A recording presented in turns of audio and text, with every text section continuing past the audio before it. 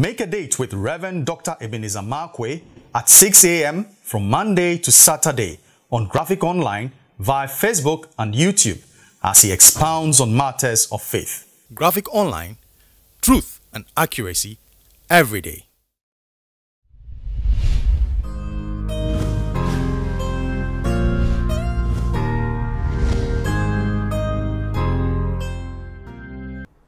My name is Reverend Dr. Ebenezer Markwei of Living Streams International, bringing you matters of faith with Graphic Online.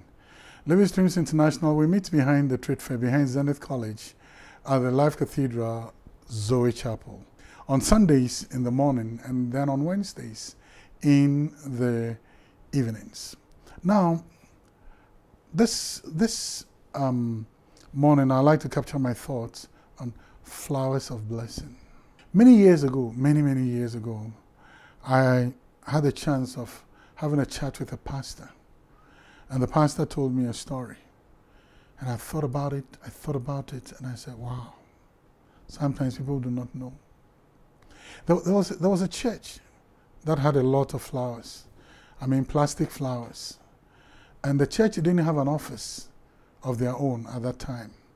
So instruments were being kept at maybe in a pastor's house, and then the flowers for the decor, you know, were being kept in uh, another person's house. Of course, that person lived in a family house, so that house didn't belong to the person. And then one day, the pastor told me that in the middle of the night, the lady called him crying. And the lady said, Pastor, I've asked to take the rubbish out of my house and bring it to you, to your house. But you, your house, will not tolerate this rubbish. But you have brought these plastic flowers that are used to decorate God's house. You have brought it to my house. So, my, a sibling of mine, in anger, blasting me and insulting me, asked me to take away this rubbish, this nonsense, this, this thing. And when the pastor was telling me the story, he said, he asked them to bring the, the flowers. So the lady came in tears and said, Pastor, for me, these flowers are not rubbish. For me, these flowers are a blessing. But you know, it's not my house. And they have ganged up.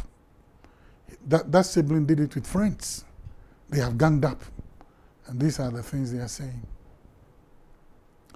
You know, the pastor looked at the lady and said, It's okay. You bring it.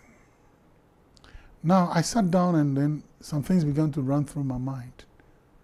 Then he ended the story with that particular sibling gave birth to a child, and the child died in very painful circumstances.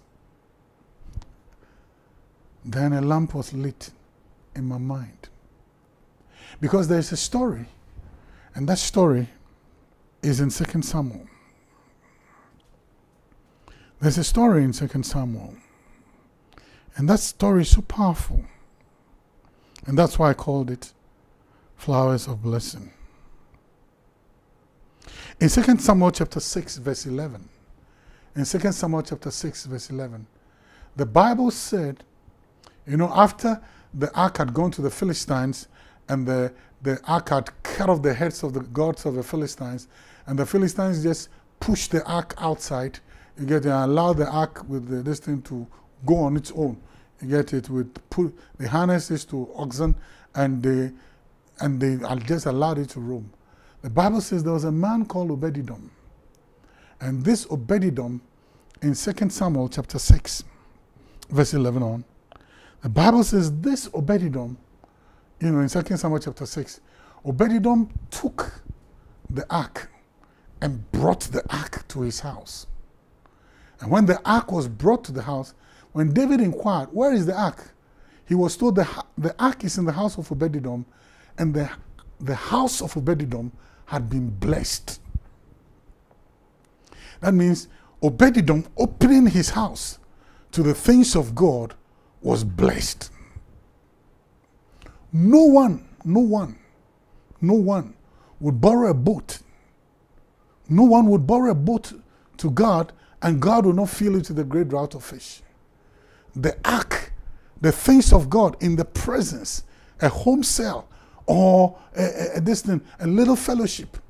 I know families who open up their homes for, for fellowship the, for the start of maybe Presbyterian churches and all the, they are blessed. They are blessed.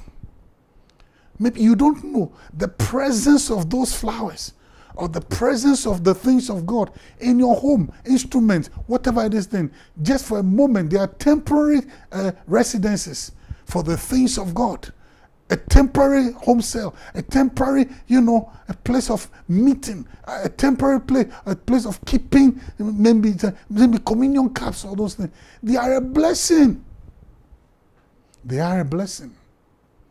The Bible says that the, the ark in Obed-Edom's house brought a blessing. Sometimes when we are called upon to offer residences for the things of God, we have, we have time to do parties where people are drinking and there's debauchery and everything going on, licentiousness going on. But sometimes we don't have space for the things of God. And sometimes we treat those things of God with contempt, as if they have no value. Those flowers were being used to decorate the house of God, for goodness sake. For goodness sake. Don't label it as rubbish. Don't label it as trash. Don't label it as stupid and nonsense. Don't.